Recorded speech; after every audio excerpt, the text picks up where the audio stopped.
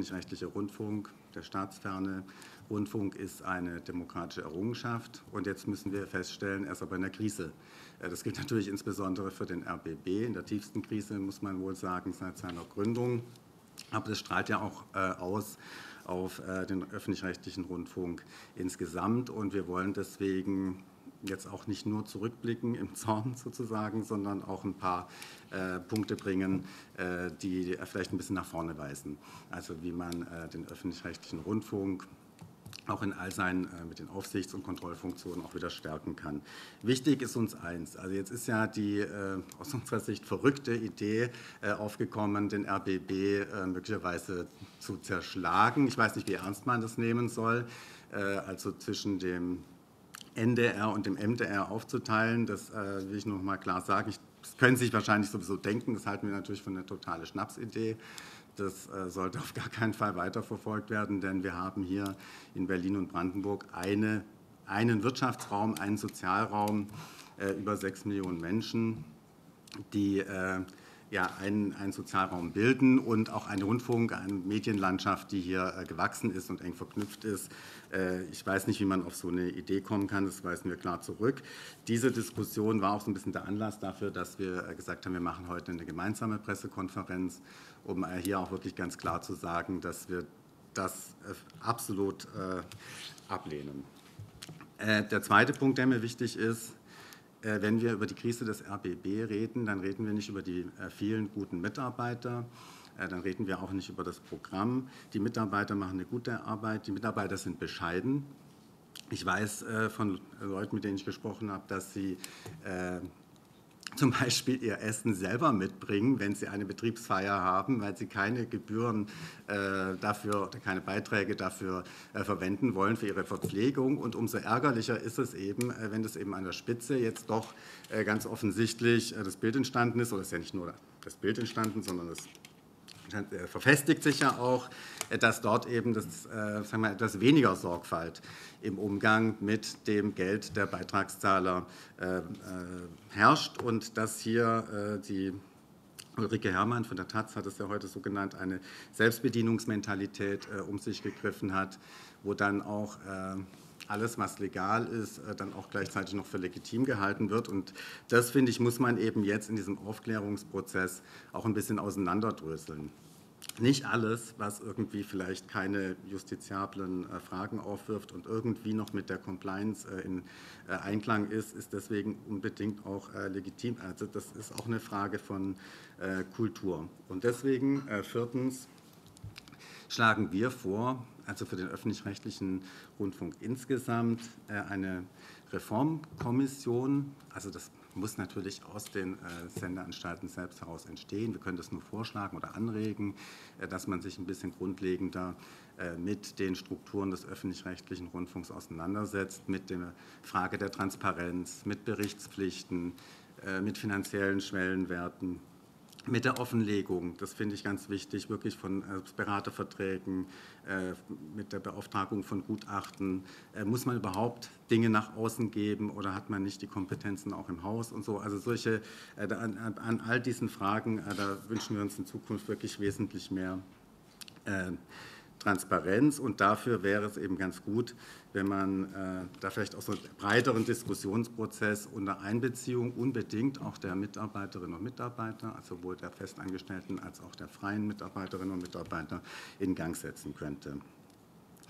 Ähm, fünftens will ich noch sagen, äh, wir haben jetzt also diese dieser ganze Aufklärungsprozess und Diskussionsprozess, der fällt ja in die Zeit, in der wir hier den äh, RBB-Staatsvertrag verhandeln. Und deswegen ist es auch äh, wichtig, dass wir also erstens diese Aufklärungsergebnisse und Diskussionsprozesse auch einfließen lassen in die Verhandlungen zum RBB-Staatsvertrag. Und dafür ist es aus unserer Sicht sehr wichtig, dass die Zusammenarbeit des Brandenburger Landtags und des Abgeordnetenhauses von Berlin verstärkt wird. Denn diese Staatsvertragsverhandlungen, die haben natürlich ein bisschen die äh, Tendenz, eher sich auf der exekutiven Ebene abzuspielen. Und es ist, glaube ich, wichtig, dass sich die Parlamente jetzt sehr stark da einbringen. Und das geht, glaube ich, am besten, wenn sie das zusammentun und äh, auch zusammen beraten und eigene Vorstellungen da entwickeln. Sechstens will ich sagen, jetzt dem Herrn Brandstätter wünschen wir jetzt da natürlich Erfolg und dass es eine arbeitsfähige Geschäftsführung gibt beim RBB. Wir gehen davon aus, ich sage es mal so, äh, obwohl er ja als Verwaltungs, also obwohl er der Verwaltungsdirektor war jetzt in den letzten Jahren, äh, dass wir ihn auf jeden Fall beim Wort nehmen können und dass er auch die Kenntnisse der Vorgänge, die er ja haben muss als Verwaltungsdirektor, dafür nutzt, äh, sich da auch aktiv an der Aufklärung zu beteiligen. Siebtens will ich noch hinzufügen, wir würden uns wünschen, dass vielleicht ja, das jetzt nicht nur bei Herrn Brandstätter liegt, also die, die, die Aufsicht über diesen äh, Prozess, sondern dass wir vielleicht ein, oder dass es im RBB ein Gremium eingerichtet wird äh, aus Rundfunkrat, Freien Vertretung, Personalrat, äh, dieses Gremium, das dann ein, das diesen Aufklärungsprozess begleitet und steuert. Und achtens will ich noch hinzufügen als letzten Punkt, wir haben sehr viel über Patricia Schlesinger gesprochen in den letzten Wochen. Wir haben wenig und ich finde zu wenig über den Verwaltungsrat gesprochen. Also ich finde, es muss auch mal hinterfragt werden, was wusste eigentlich der Verwaltungsrat von all diesen Dingen, die jetzt Patricia Schlesinger zu Recht ja auch vorgeworfen werden. Also das, das, sind ja alles äh, Dinge, die wollen wir ja auch aufgeklärt haben, aber zur Aufklärung gehört auch, wer war alles involviert. Und der Verwaltungsrat, der die finanzielle Aufsicht führt eigentlich, äh, muss natürlich von vielen ja auch gewusst haben, und das ist eigentlich noch nie so richtig zur Sprache gekommen. Und im selben Zusammenhang muss ich sagen, äh, diese Konstruktion, dass der Verwaltungsratsvorsitzende, der Wolf, gleichzeitig Messechef war, also im Grunde ja diese Verquickung von zwei äh, sehr äh, herausgehobenen äh, Funktionen, das war ja im Grunde das ganze Spinnrad von diesen, also alles, was jetzt hier sich auf der Ebene von Vorwürfen erstmal aufgetan hat, hat ja damit eigentlich begonnen mit diesem mit dieser Doppelfunktion, da geht es ja eben dann um, den, äh, um die Vergabe von Beraterverträgen eben auf Seiten der Messe, auf Seiten RBB und wie das vielleicht miteinander zusammenhängen könnte. Also ich finde, da muss man schon noch mal ein bisschen genauer hinschauen, aber vor allem, finde ich, muss man daraus die Konsequenz ziehen und damit will ich schließen, äh, dass wir Vorsorge treffen, jetzt eben auch im Zusammenhang vielleicht mit der Verhandlungen äh, des Staatsvertrags, dass eine solche Verquickung in Zukunft einfach ausgeschlossen werden kann. Danke, das war's. Thomas Ja, danke, Alexander King. Äh, ich würde ganz gern beim letzten anknüpfen wollen. Also die Verantwortung alleine bei jetzt Frau Schlesinger abzuladen, greift mit Sicherheit zu kurz. Von daher äh, ist, glaube ich, äh, die Situation, dass Herr Wolf sein Amt ruhen lässt, vielleicht auch zu kurz gesprungen. Also ich glaube, man kann auch hier einen Rücktritt erwarten und sollte er nicht von seinem Vorsitz zurücktreten, äh, dann kann auch der Rundfunkrat in der nächsten Sitzung äh, Herrn Wolf als Verwaltungsratsmitglied abberufen. Also ich glaube sozusagen, da braucht man ganz klare äh, Strukturen, auch in Anbetracht, dass eben eine gewisse Mitverantwortung beim Verwaltungsratsvorsitzenden eben auch zu suchen ist. Es gibt ja die verschiedensten Vorschläge, die jetzt im Raum sind, wie sich dann bestimmte Dinge weiterentwickeln sollen. Also ich glaube, man darf jetzt natürlich auch nicht das Kind mit dem Bade ausschütten. Also Kriterien für äh, Rundfunkratsmitglieder, äh, dort jetzt nur noch Medienprofis zu platzieren, glaube ich, mhm. greift zu kurz. Also der Rundfunkrat hat natürlich die Aufgabe, den Programmauftrag, äh, sag ich mal, umzusetzen und zu kontrollieren. Und von daher ist es schon wichtig, dass beim Rundfunkrat natürlich gesellschaftliche Gruppierungen weiterhin dort äh, mit involviert sind und einbezogen werden. Von daher wäre das sicherlich eine Aufgabe für den Rundfunkstaatsvertrag jetzt, oder für den RBB-Staatsvertrag, jetzt nochmal zu gucken, wie kann man denn auch beim Thema Rundfunkrat äh, äh nochmal nachschärfen. Das Thema Gehälter hat der Kollege King eben schon angesprochen. Wir haben ja im Brandenburger Landtag sehr gute Erfahrungen gemacht mit einer unabhängigen Kommission, die sich um die Abgeordnetenentschädigung damals äh, bemüht hat. Da war Steuerzahlerbund, Unternehmerverband, DGB, äh, waren alle mit an einem Tisch und haben einen Vorschlag unterbreitet. Und äh, ähnlich, glaube ich, äh, sollte die ARD äh, prüfen, ob nicht eine ähnliche unabhängige Kommission eingesetzt werden kann, um eben die Intendantengehälter und die Direktorengehälter dort einen Vorschlag zu unterbreiten. Weil ich glaube, Denn das war ja auch die Erfahrung der letzten Jahre bei den äh, Diskussionen um die Medienstaatsverträge. Die Intendantengehälter waren immer Thema, die Direktorengehälter mhm. waren immer Thema. Von daher wäre das schon, äh, glaube ich, äh, sehr wichtig. Äh, wir haben uns dazu verständigt, äh, weil die Fragen ja auch hin und wieder kamen, äh, wie soll denn jetzt die Nachfolge von Frau Schlesinger geregelt werden? Wir haben sozusagen da null Vorstellungen, was Personen angeht. Und ich glaube, der Zeitpunkt ist auch zu früh, mhm. jetzt über Personen zu reden. Was aber ganz klar sein muss, ist, äh, dass die Zielstellung der rot-rot-grünen Regierung in Berlin als auch der Kenia-Koalition hier in Brandenburg, mehr Landeskinder in Verantwortung zu nehmen. Also wir erwarten ganz klar, dass äh, die nächste RBB-Intendanz Ostdeutsch äh, besetzt wird und nicht sozusagen dann wieder andere Lösungen größer eine Rolle spielen. Ähm, die Staatsanwaltschaft hat ja nun erklärt, dass sie Ermittlungen aufgenommen hat wir fordern jetzt den RBB auf, äh, über Rückzahlungs- und Schadensersatzansprüche auch äh, diese zu prüfen. Inwieweit gegenüber Frau Schlesinger Rückzahlungs- und Schadensersatzforderungen geltend gemacht werden können. Ich glaube, das ist äh, mehr recht als schlecht, jetzt auch diesen Weg zu gehen. Und wenn jetzt die Frage kommt, wie stellen wir uns denn den Aufklärungsprozess insgesamt vor? Ich glaube, diese äh, äh, Rechtsanwaltskanzlei äh, zu beauftragen, ist der eine Schritt. Der zweite Schritt ist natürlich, äh, darüber nachzudenken, wie kriegt man äh, das Vertrauen bei den Mitarbeitenden wieder gestärkt, wieder aufgebaut und wie kriegt man den Personalrat, wie kriegt man die freien Mitarbeitenden äh, einbezogen bei der Frage, welche Konsequenzen ziehen wir denn aus diesem ganzen Schlamassel, der sozusagen jetzt sozusagen vor uns liegt. Und in diesem Sinne, glaube ich, könnte man dann auch den RBB wieder auf einen guten Weg bringen und vor allen Dingen auch eine Situation schaffen, dass die Mitarbeitenden wieder äh, gerne ihre Arbeit machen, weil ich merke schon in den Gesprächen, dass der Frust äh, über das, was da in der Geschäftsführung passiert ist, schon relativ groß ist. Okay, das war der erste Teil. Dazu jetzt Fragen von Ihnen. Herr Lassive und Herr Rothe. Es gibt ja so ein schönes altes Sprichwort, wenn ich nicht mehr weiter weiß, dann gründe ich einen Arbeitskreis. Sie haben jetzt in den letzten zehn Minuten immerhin drei Arbeitskreise gegründet, beziehungsweise gefordert, sie zu gründen. Ähm, und ich habe relativ wenig konkrete Vorschläge aus Ihren Worten entnommen, äh, was passieren soll. Also Sie haben zwar lauter neue Gremien gefordert, Sie haben aber keine konkreten Maßnahmen äh, gefordert. Vielleicht könnten Sie da noch ein bisschen ins Detail gehen. Also ich will mal da anfangen, wo äh, Alexander King vorhin aufgehört hat, und zwar, wenn die Verantwortung der beiden Parlamente, und darüber können wir als Abgeordnete reden, in Anspruch genommen wird. Also gegenwärtig ist es ja so, dass Staatsverträge von den Regierungen verhandelt werden und die Regierung und die Parlamente immer nur Ja oder Nein sagen können. Äh, Berlin hat den Vorteil, die haben einen Medienausschuss. Der Medienausschuss wurde in Brandenburg äh, abgelehnt oder der Unterausschuss wurde abgelehnt. Wir haben jetzt zugegebenermaßen in den letzten Monaten verstärkt uns mit medienpolitischen Themen beschäftigt. Aber ich glaube, dass wenn es zum Beispiel darum geht, äh, Kontrollstrukturen zu überprüfen, Compliance-Regeln zu verschärfen, ja, dann kann durchaus auch, können die Parlamente dort einen wirksamen Beitrag leisten. Und ich glaube, da, genau darum geht es, dass im Staatsvertrag die Compliance-Regeln, die Kontrollgremien, die Kontrollmechanismen äh, sagen wir, äh, verstärkt werden müssen. Und das ist sozusagen ein ganz konkreter Vorschlag. Und wenn ich äh, Herrn Grimm höre als Staats, äh, Chef der Staatskanzlei Brandenburg, dann geht er ja einen ähnlichen, Weg, einen ähnlichen Weg. Und von daher bin ich dann guten Mutes, dass die Parlamente diesmal frühzeitiger einbezogen werden und intensiver einbezogen werden bei der Arbeit des Staatsvertrages.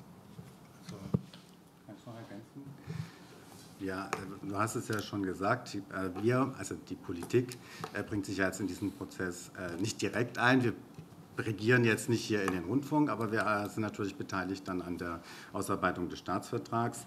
Aber ein paar konkrete Vorschläge kann man schon in den Raum stellen.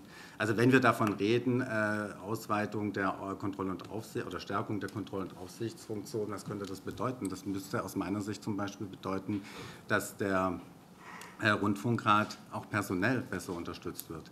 Bisher gibt es ja eigentlich fast gar keine äh, hauptamtliche Unterstützung für die Arbeit des Rundfunkrats. Das heißt, es ist sehr schwierig für die Rundfunkratsmitglieder, die ja in ihrem normalen Leben ja auch noch äh, viele andere Aufgaben haben, äh, diesen, dieser Aufgabe gerecht zu werden. Also das wäre zum Beispiel ein konkreter Vorschlag, dass man dass man da vielleicht äh, auch äh, das personell und auch äh, finanziell besser unterstützt. Dann gibt es den Vorschlag, den finde ich eigentlich auch gut, auch ein Dauer, ich weiß nicht, wie jetzt vielleicht auch beteiligte Journalisten das sehen, aber ich finde dieses, diese Whistleblower-Regelung, die es ja jetzt gerade gibt, und die es ja auch im Zusammenhang zum Beispiel mit der Frage sexueller Übergriffe gibt und so. Also wenn man sowas vielleicht verallgemeinern könnte, also dass Mitarbeiter eben auch Sachen nach außen tragen können, äh, ohne jetzt immer Angst zu haben, äh, dass ihnen, da, dass ihnen das dann zum Nachteil äh, gereicht.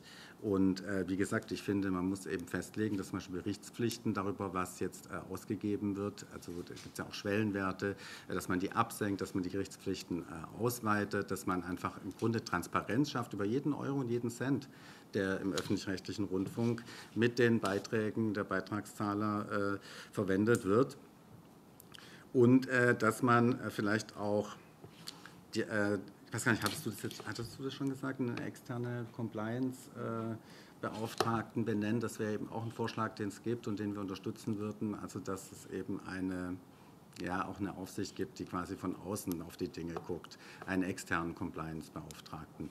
Das wären jetzt mal konkrete Punkte, die sich auf die Aufsichts- und Kontrollfunktion äh, beziehen. Aber ich sage das wirklich unter dem Vorbehalt, dass wir jetzt nicht diejenigen sind, die hier den äh, RBB umstrippen. Wir können eben Vorschläge machen, weil Sie das ja auch jetzt eingefordert haben, zu Recht.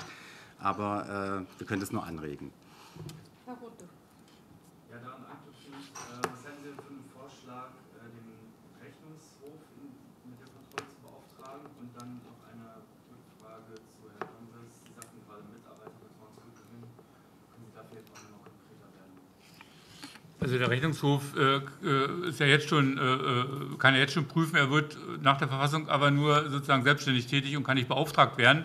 Und deswegen äh, wäre schon die Frage, inwieweit man die Kontrollpflichten des Rechnungshofes auch im Staatsvertrag gegebenenfalls nochmal äh, neu festschreibt. Was das Vertrauen der Mitarbeitenden angeht, ich finde, gerade Frau Schlesinger hat sich ja in den letzten Jahren hervorgetan, die freien Mitarbeitenden, sag mal, ja, wie soll ich sagen, also es hat sich schwer getan, äh, eine freien Vertretung sozusagen, äh, eine wirkungsvolle freien Vertretung zu installieren. So, und auch gerade die Frage von Garantien gegenüber den freien Mitarbeitenden, das wäre schon eine Möglichkeit, tatsächlich auch zu sagen, äh, wir wollen, dass die freien Mitarbeitenden eine Perspektive äh, beim äh, RBB haben, dass endlich die Personalvertretung beim RBB klar geregelt wird. Mhm. Da haben wir mit dem damaligen Entwurf des RBB-Staatsvertrages durchaus eine gute Grundlage, die mhm. man auch weiterentwickeln kann. Da sage ich mal, will ich gar keinen Hehl draus machen, dass man da aber auch jetzt nicht mehr viel Zeit verlieren sollte. Also wir haben, unsere Position war ja seinerzeit, äh, dass wir das, was geeint ist zwischen Berlin und Brandenburg, äh, sagen wir, in einem ersten Schritt beschließen sollte und die Dinge, die nicht geeint sind, wie zum Beispiel das Thema Flexibilisierung, dass man das in einem zweiten Schritt machen kann. Ja, also ich sage mal, da, und da haben wir sehr viel Zeit verloren. Und wenn ich mir jetzt die Diskussion angucke, gehe ich mal davon aus, dass wir äh, aufgrund der aktuellen Situation möglicherweise doch auch wieder mehr Zeit brauchen, um den RBB-Staatsvertrag dann ins Verfahren zu bekommen. Ich hoffe nicht, aber ich befürchte es. So, und deswegen äh, sage ich mal, ist für die freien Mitarbeitenden nach wie vor die Situation, glaube ich, nicht äh, zufriedenstellend. Und das wäre für mich schon ein wichtiger Punkt. Hast du was zum Landesrechnungshof gesagt? Ja. ja. Herr Kraus.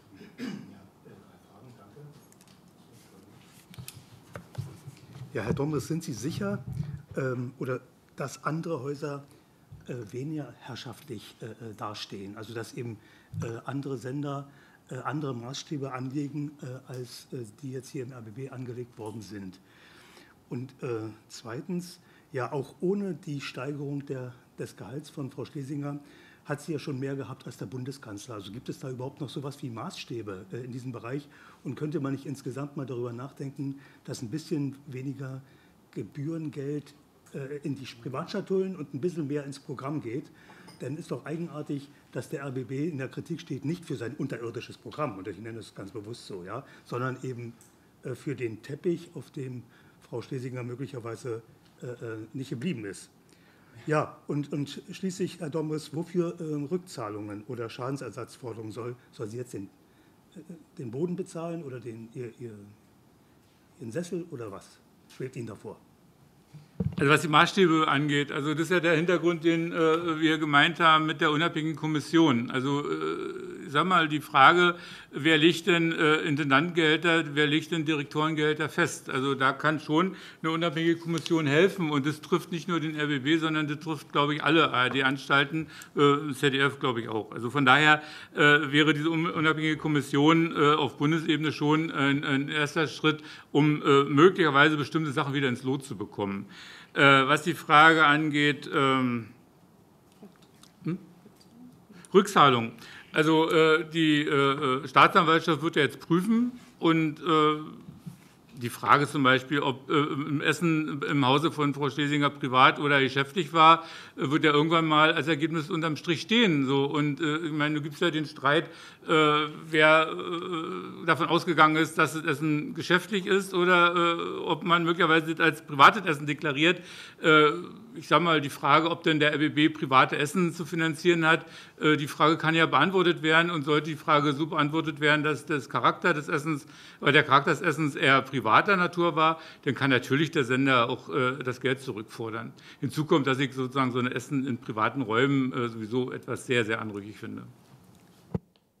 Ja, ich würde vielleicht nur kurz was ergänzen, weil Sie hatten ja äh, nicht nur nach der Art der Festlegung von Intendantengehältern gefragt, sondern auch äh, nach der Höhe und äh, wie wir die einschätzen. Also das sehe ich genau wie Sie. Also ich finde auch, dass 300.000 oder wenn wir über den WDR sprechen, über 400.000 Euro zu hoch ist. Und der Kollege Domres hatte jetzt einen Vorschlag gemacht, wie man zu den Gehältern kommt. Das ist das Verfahren. Das ist auch wichtig, weil bis jetzt haben wir ja quasi eine mehr oder weniger freihändige äh, Erhöhung ja auch erlebt im Verwaltungsrat, plus 16 Prozent, einfach mal so.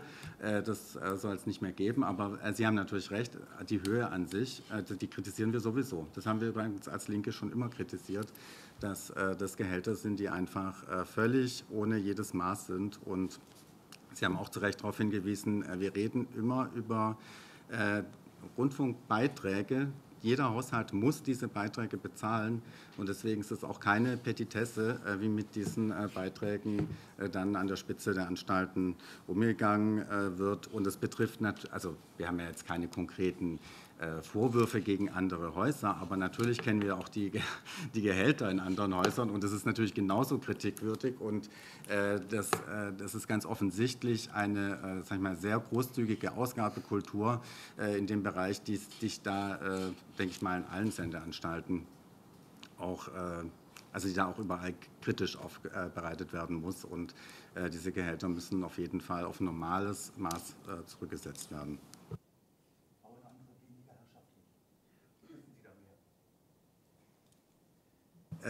Also bis jetzt sind uns keine Vorwürfe äh, bekannt, sag ich mal, die jetzt in die Richtung gehen, wie wir das jetzt äh, über, die, was weiß ich, über das Parkett von Patricia Schlesinger und Ähnliches gehört haben.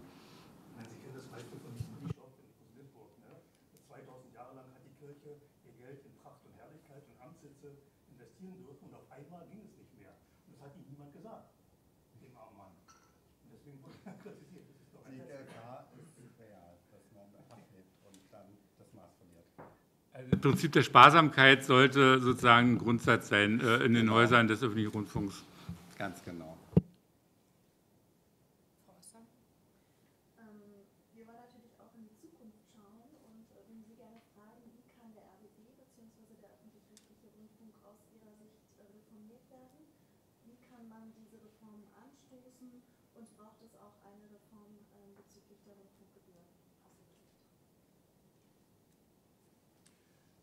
Rundfunkgebühren ist natürlich ein heißes Thema. Äh, da gibt es ja den Vorschlag der KEF. Äh, und ich glaube, im nächsten halben Jahr wird sich genau darüber äh, sag ich mal, zu unterhalten sein, wie sich denn die Rundfunkgebühren neu gestalten. Ich erinnere daran, dass ja, der Sachsen-Anhaltinische Landtag die letzte Gebührenerhöhung ja, sagen wir, zum Scheitern gebracht hat.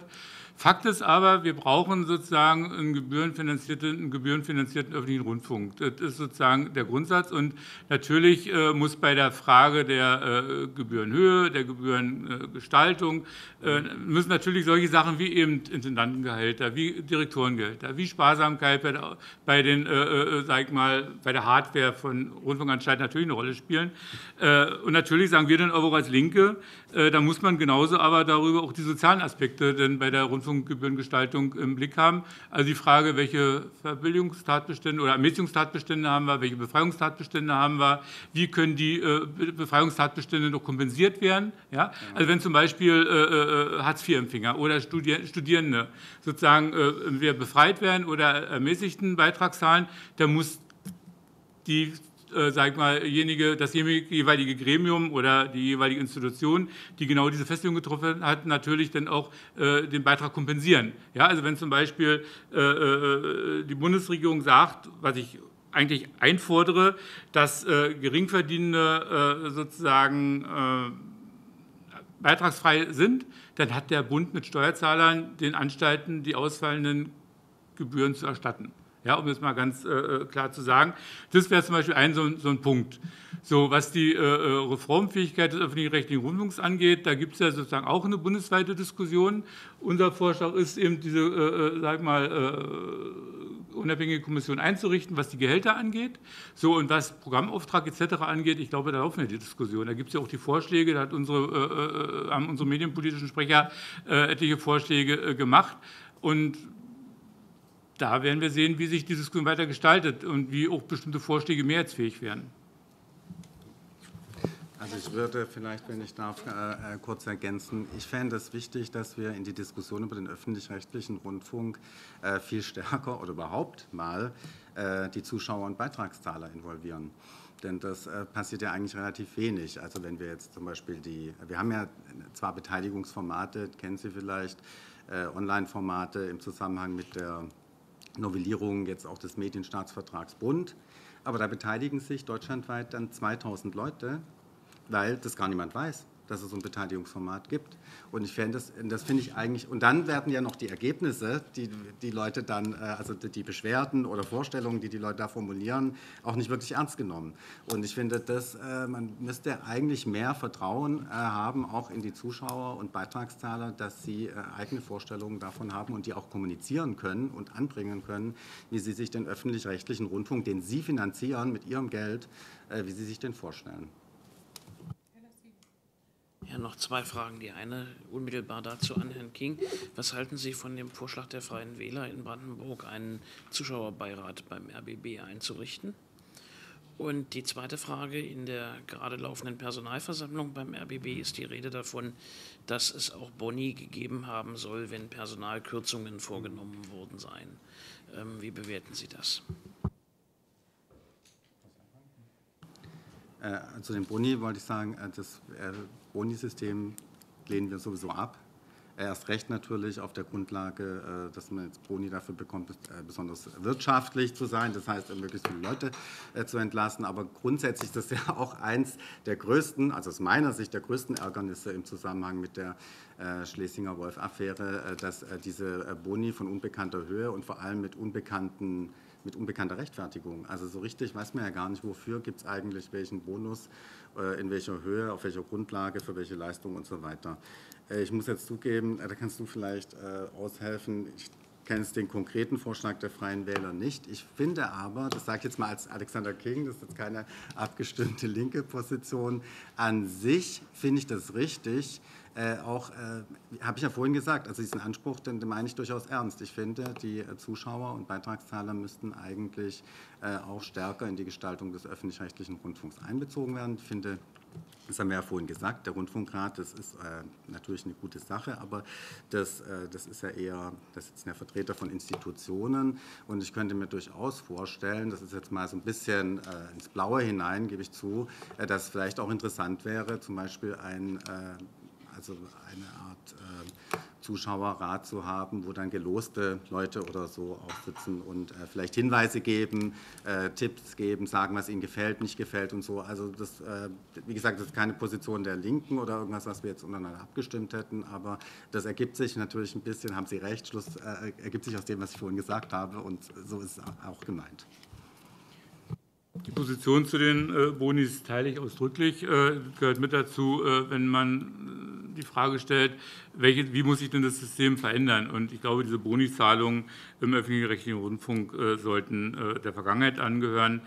Ähm, was die Frage des Vorschlags der Freien Wähler angeht, also ich finde, in der jetzigen Situation, in der wir sind, sollten wir uns nicht irgendwelche Denkverbote auferlegen. Also ich denke, dass wenn wir über die Frage reden, wie können äh, Kontrollmechanismen verbessert werden, wie können äh, Strukturen verändert werden, wie können äh, die äh, Konsumenten stärker mit einbezogen werden, dann ist so ein Vorschlag zumindest mit zu prüfen. Mhm. Und da würde ich sozusagen äh, es sehr gut finden, wenn die Freien Wähler äh, ihren Vorschlag etwas konkretisieren wie äh, denn so ein Programmbeirat aussehen könnte oder so ein Beirat aussehen mhm. könnte.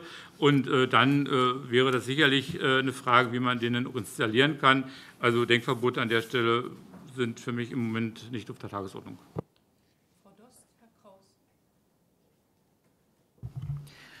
Ähm, von Daniel Keller von der SPD kam ja die Idee, die Landesrechnungshöfe zu ermächtigen, die Finanzströme ähm, etwas genauer zu kontrollieren. Er sagte, er begründet das, das ist öffentliches Geld und das ist ja nun auch ein öffentlicher Rundfunk.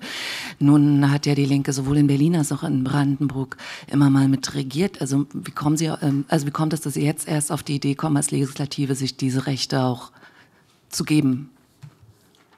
Und stehen Sie dann also in einer Linie da mit Daniel Keller bei diesem Vorhaben? Sie mögen mich gern berichtigen, aber ich meine, dass die Rechnungshöfe schon jetzt die Möglichkeit haben, äh, äh, den, die Rundfunk, den RBB zu prüfen. Er sagte stärken. Da sind wir sehr dafür. Also ich sage jetzt mal, da sind wir sehr dafür, äh, die, Stellung der Rechnungshöfe zu stärken. Der Rechnungshof hat ja jetzt schon eine gewisse, hat ja jetzt schon die Möglichkeit zu prüfen. Und wenn es, sagen wir, Vorschläge gibt, den Rechnungshof zu stärken in seiner Kontrolltätigkeit, das wird an uns nicht scheitern.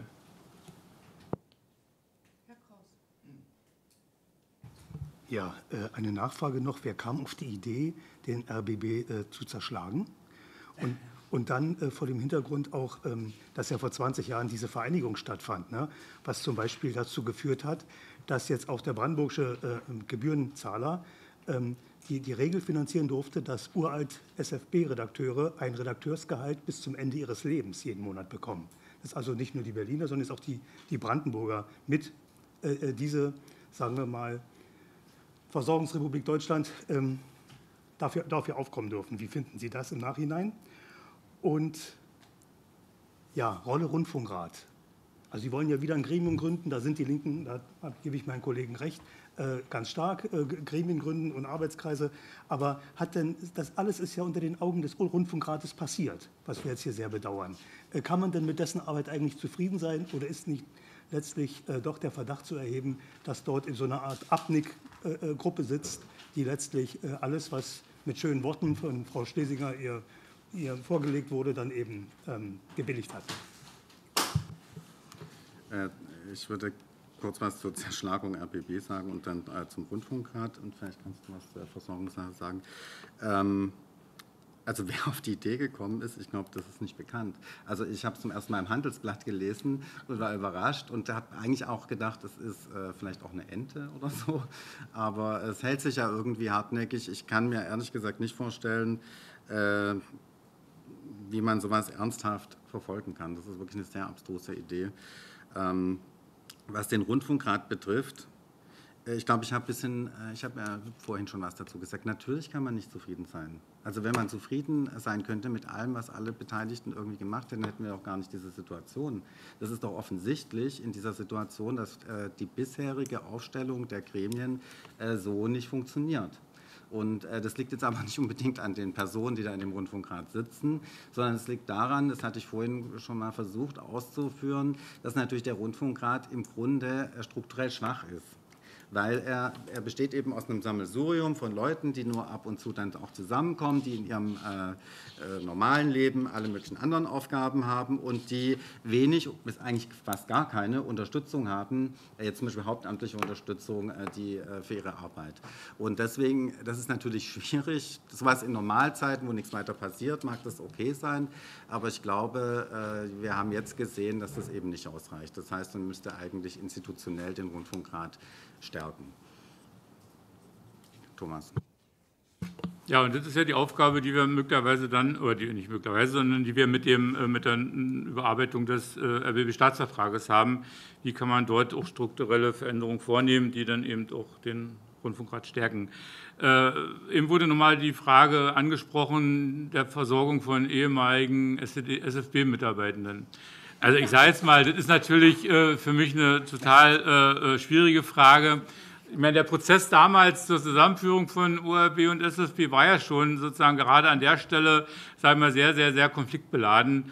Und äh, ich würde an der Stelle sagen, irgendwann wird das Thema äh, nicht mehr ganz oben stehen auf der Tagesordnung irgendwann, naja, ich sag mal, es gibt doch jetzt sowieso kein Zurück mehr. So, ich sag mal, was nützen uns so eine rückwärtsgewandten Diskussion? Wir müssen in der jetzigen Situation nach vorne gucken. Wir haben ein großes Interesse daran, dass der RBB gestärkt wird, dass er wieder in ruhiges Fahrwasser kommt, dass die Mitarbeitenden ihre Arbeit vernünftig und gut machen können, dass sie auch möglicherweise wieder mehr Einschaltquoten bekommen, indem das Programm wieder mehr gesehen wird. Mhm. Und, äh, und die Frage natürlich, wie kann man den, den RBB attraktiver gestalten? Ja, ein Stück weit mehr Regionalität wäre zum Beispiel nicht, nicht, nicht unwichtig, ja, weil die Leute wollen natürlich Berichte aus ihrer Region sehen und, und, und, und äh, wahrnehmen.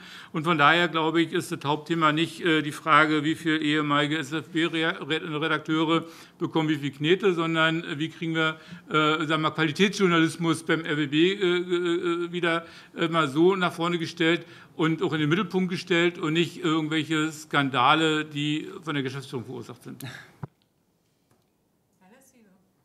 Ja, noch eine Frage an Herrn Domres. Sie haben ja am 18. September vor, in Perleberg als Bürgermeisterkandidat anzutreten. Ähm, das würde bedeuten, dass Sie dieses Thema RBB nicht weiter fortführen können. Nun sind Sie hier heute als medienpolitischer Sprecher Ihrer Fraktion und wir haben eben schon deutlich erfahren, dass das Thema sicherlich noch über mehrere Monate gehen wird. Inwieweit bauen Sie denn jetzt jemanden auf, der die Positionen künftig fortführen kann? Herr Lassive, dieses Thema können Sie für viele andere Themen, die ich bearbeite, genauso stellen. Also zum Beispiel Thema Waldumbau, wo wir jetzt heute nicht mehr kommen werden. Das ist ja eine Generationenaufgabe. Also die werde ich sozusagen, solange ich Abgeordneter bin, überhaupt nicht bearbeiten können oder entbearbeiten können. Also von daher äh, glauben Sie mir, wir werden in der Fraktion eine sehr gute Variante finden, wie wir die Themen, die ich jetzt bearbeite, sollte ich Bürgermeister werden, dann auch weiter bearbeiten werden. Äh, ich sage mal, zum letzten Hauptausschuss zum Beispiel war Frau Block äh, meine Vertreterin im Hauptausschuss. Wir haben ja nächste Woche die Sondersitzung im Hauptausschuss, da, da, werde ich wieder daran teilnehmen. Frau Block und ich und Herr Büttner und äh, haben eine sehr gute äh, Kommunikation. Von daher werden wir das Thema RBB genauso gut weiter bearbeiten wie das Thema Waldumbau, wie das Thema Wasser, wie das Thema Klimaschutz. Ich glaube schon, dass wir da ganz gut aufgestellt sind in der Fraktion. Aber wenn ich Sie zitieren darf, dass Sie mich schon als Bürgermeister in Perleberg sehen, gerne doch.